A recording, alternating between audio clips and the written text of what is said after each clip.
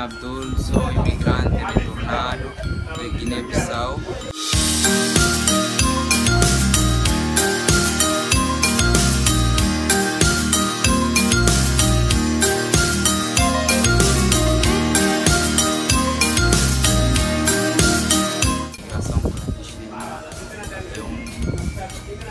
Quase é, é perda de vida, sim. Também como estamos a ver milhares e milhares de jovens estão a morrer nos desertos e no Mediterrâneo.